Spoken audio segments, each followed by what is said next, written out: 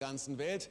Aus politischen oder weltanschaulichen Gründen sitzen jetzt auch Menschen in irgendwelchen Gefängnissen, obwohl sie nichts getan haben. Das ist staatliche Willkür. Aber wenn der Spruch eines Richters in einem demokratischen Land einen Unschuldigen 35 Jahre hinter Gitter schickt, dann muss das ganze System hinterfragt werden. 2010 war das erste Jahr, dass James Bain in Freiheit verbringen durfte, nachdem er 35 Jahre unschuldig in einem amerikanischen Gefängnis gesessen hatte.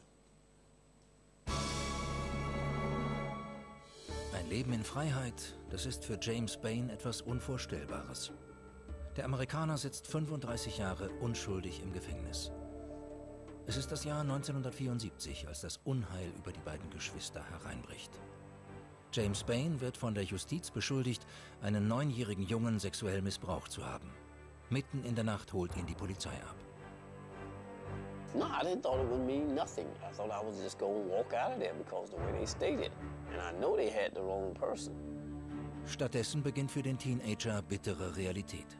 Mit gerade mal 19 Jahren wird James Bain hinter Gefängnismauern weggesperrt. Das Urteil lautet lebenslänglich. It's a total release when your family come to see you. Seine Zwillingsschwester zweifelt nie an Bains Unschuld. He never, never dropped hope. He was fighting. He was getting out of there. Doch Jahre vergehen und die Einsamkeit lässt James Bain verzweifeln. I never thought it would be resolved, miss. I thought I was going to die in prison. That's the honest truth. I thought I was going to really die there. Dann die Wende. Nach 35 Jahren Haft beweist ein DNS-Test Bains Unschuld. I am now signing the order, sir. You are a free man. Congratulations. That particular day, especially when the judge told me, Mr. Bain, you now are free man. Oh, I didn't know what to say or do. I could do but clap and smile. Unsichere Schritte eines Mannes, der knapp zwei Drittel seines Lebens in Gefangenschaft verbracht hat. Bain ist 54 Jahre alt, als er seine Schwester das erste Mal wieder in Freiheit sieht. Keine Mauer und kein Gitter trennen sie mehr. Im ersten Handytelefonat seines Lebens informiert Bain seine kranke Mutter über die wiedergewonnene Freiheit. I'm going to see my mom, the one I just got off the phone to. That's the most important thing in my life at this moment. Sir, you are a free man. Congratulations. Meine Damen und Herren, James Bain.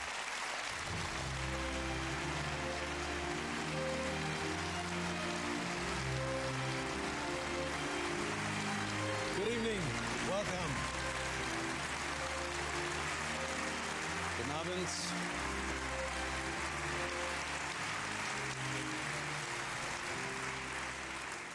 Welcome, herzlich willkommen. Wir freuen uns, dass Sie hier sind. Begleitet wird er von Seth Miller. Er ist Anwalt der Innocence Project Organisation, die sich um Gefangene kümmert. Und ihm ist es im Wesentlichen und seiner Organisation zu verdanken, dass dieser Mann heute frei ist. Mr. Bain, Sie haben mit 19 die Freiheit verloren und sind als erwachsener Mann 35 Jahre später in eine Wirklichkeit zurückgekommen, die Sie nicht miterleben konnten. Es gab Handys, es gab Computer. Was hat Sie am meisten gefordert in dieser neuen Welt? Und äh, waren Sie überrascht, einen schwarzen Präsidenten zu finden? Very surprised to see a black president. über einen schwarzen Präsidenten. Ich war wirklich völlig baff, dass sowas in meinem Leben noch passieren würde. Denn ich hätte mir nie erträumt und sicherlich auch meine Mutter, die hätte auch nie erträumt, dass das passieren würde. Aber es ist passiert, es hat funktioniert. Und das war wirklich faszinierend. Und ich bedanke mich sehr bei Gott dafür.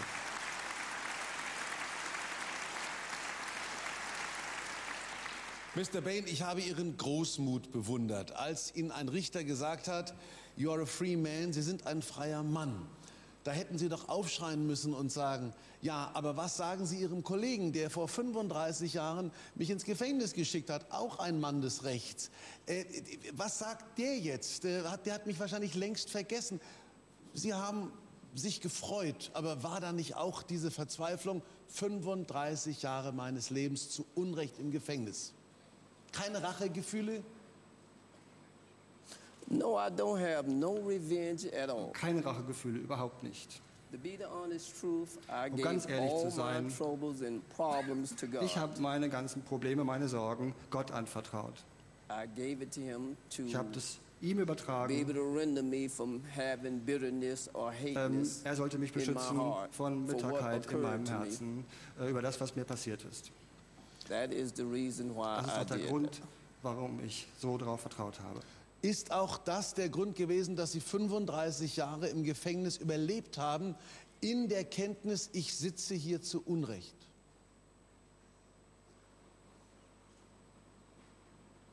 No, that's not really the reason, sir. I Das war just eigentlich nicht took der my Grund. time day to day in Ich habe prison. einfach Tag für Tag äh, bewältigt im really a Gefängnis. Ich bin eigentlich zum on me after 35 Christen geworden. Es ist mir klar geworden, Äh, nach den ersten zwei Stunden in der Freiheit, nach 35 Jahren, ist mir klar geworden, wie ich dazu geworden bin, wie ich schon gesagt habe. Es ist meine Aufgabe, in der Gesellschaft äh, zu leben, ein guter Bürger zu sein. Und das ist mir von Gott anvertraut worden. Das ist mir in den zwei Stunden klar geworden, in denen ich von den Medien bombardiert wurde, mit meiner Familie in Kontakt kam. Und dazu bin ich jetzt geworden. Haben Sie, äh, Entschuldigung, haben Sie damit gerechnet, nochmal freizukommen oder hatten Sie sich nach 35 Jahren mit Ihrem Schicksal abgefunden?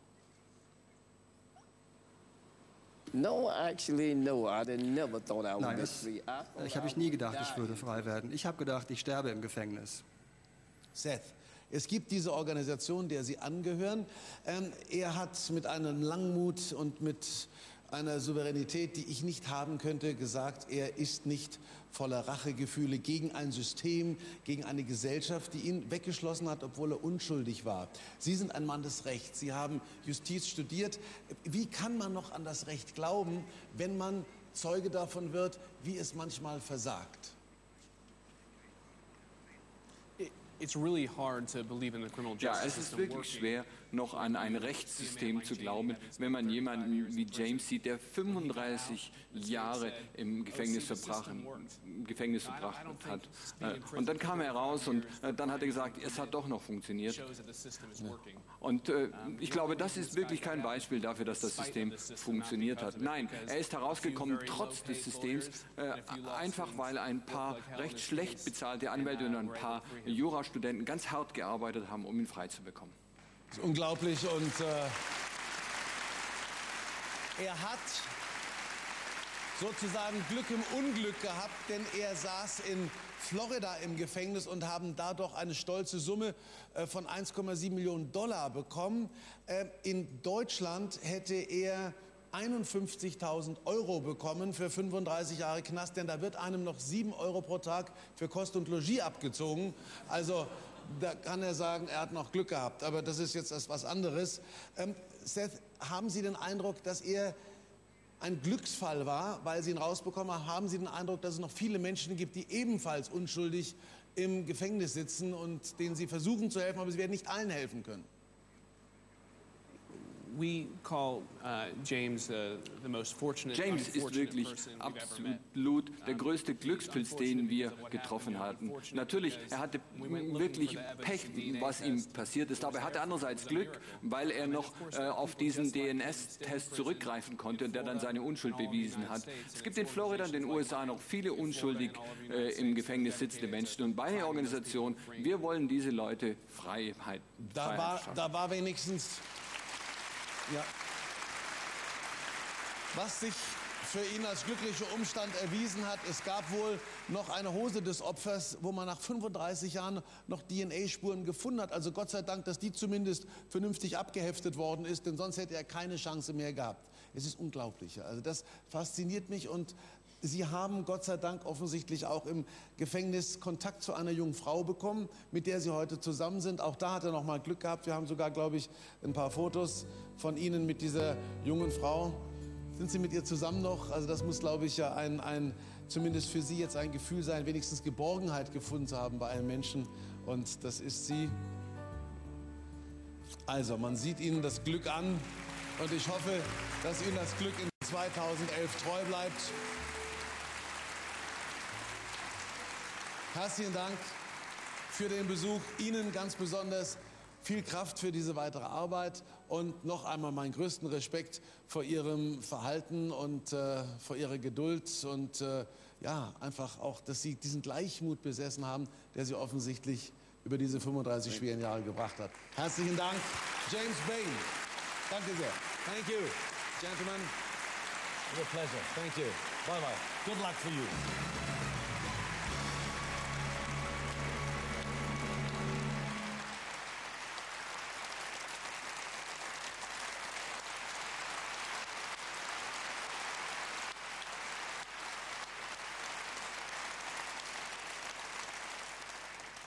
Auch 2010 hat uns wieder gezeigt, wie kurzatmig unsere Welt geworden ist. Eben standen noch die Gewinner der Olympischen Winterspiele auf dem Siegerpodest. Schon schwenkte Deutschland im Sommer die Fußballfahnen und dann wurden die Helden des Sommermärchens von Sebastian Vettel in der Formel 1 abgelöst. Sie wurden sozusagen überrundet und umso mehr ist es meine Pflicht und die Pflicht eines Jahresrückblicks noch einmal die sportlichen Ereignisse ins rechte Licht zu rücken, die bereits Anfang des Jahres stattgefunden haben.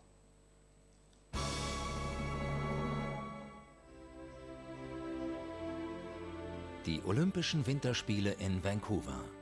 Die Welt zu Gast in Kanada.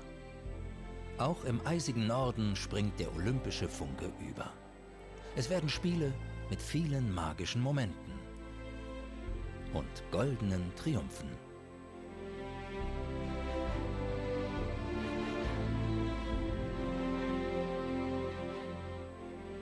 Doch gleich zu Beginn der Schock. Ein georgischer Rodler stirbt beim Abschlusstraining.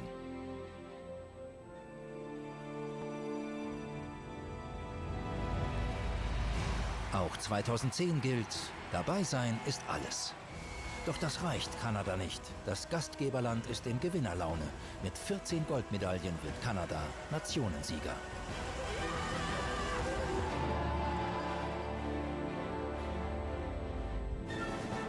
Aber auch Deutschland ist im Goldrausch. Zehnmal Gold, 13 mal Silber und siebenmal Bronze. Deutschlands Athleten im Winterwunderland. Gold für das deutsche Duo! Jawohl, das ist es!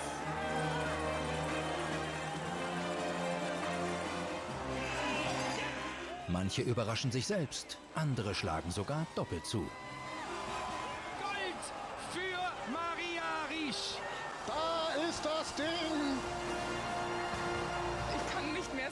Dass es einfach der Wahnsinn ist.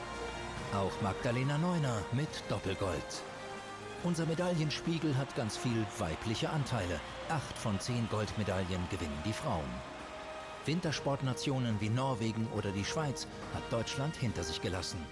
Ein schwarz-rot-goldener Triumphzug.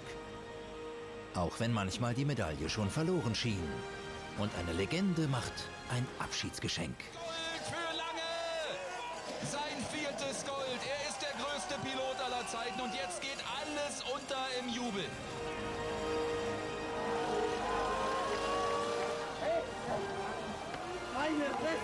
Seit 150 Jahren fahren die Menschen Bob. Keiner war je so perfekt wie er. Vier olympische Goldmedaillen. Das hat noch keiner geschafft und das in nur vier Rennen. Guten Abend unseren Goldjungs André Lange und Kevin Kruske.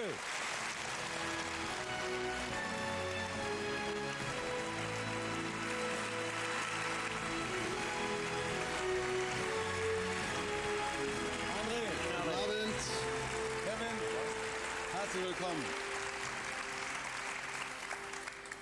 So, André, hast du dich vom, vom, vom Blond verabschiedet, vom, vom Gold? Äh, vom, vom Blond nicht, jetzt kommt langsam das Friedhofsblond durch. Ach so, das ist Arktik, Arktikblond okay, nennen wir das.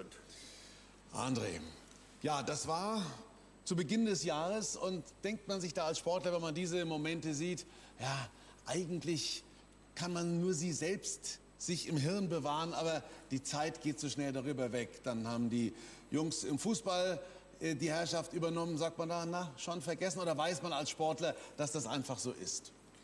Äh, die Zeit ist zu schnelllebig geworden. Ich sag mal so, ich habe jetzt eben wieder wirklich Gänsehaut gekriegt. Es ist mir wieder eiskalt den Rücken runtergelaufen, wenn man äh, die Gesamtheit dieser Olympischen Spiele immer sieht. Die Eröffnungsfeier, wo ich ja Fahnenträger sein durfte, dann das Rennen, dieses Viererrennen, wo es ganz schön knapp war, mhm. ja, zwischen sein oder nicht sein und dann jetzt dann noch mal diese Freude letztendlich. Also es ist im Kopf immer da. Im Kopf und man selbst weiß, das kann einem keiner mehr nehmen. Kevin, für dich auch. Der zweite Mann im Bob, du hast nie darunter gelitten, dass du sozusagen nur ein paar Anhalter mitgefahren bist. Du bist wichtig beim Start und am Ende und dann, ja, hast ihn aber schon während der Fahrt motiviert. Ich habe ein paar äh, günstige Tipps gegeben für Kofen. Nein, nein, äh, ja, das, die Aufgabe eines Bremsers ist, äh, ihn in dem ordentlichen Geschwindigkeit in die erste Kurve zu schicken, dann möglichst stillzuhalten, ein bisschen Rhythmus zu machen und äh, dann zur Siegerehrung zu bremsen. Das ist euch aus Perfekteste gelungen. Trainierst du immer noch oder behält man als Sportler einfach diese Athletenfigur? Also ich muss sagen, leider hat André aufgehört. Äh, ich mache die nächste, den nächsten Zyklus noch weiter bis äh, Sochi. Ja? Äh, leider nicht mit André. Die vier Goldmedaillen, wo sind die? Wie oft holst du die raus? Ich sag mal so, ich laufe an ihnen vorbei, wenn ich ins Bett gehe. Ich laufe an ihnen vorbei, wenn ich aufstehe. Ich sehe sie öfters. Mhm. Gut.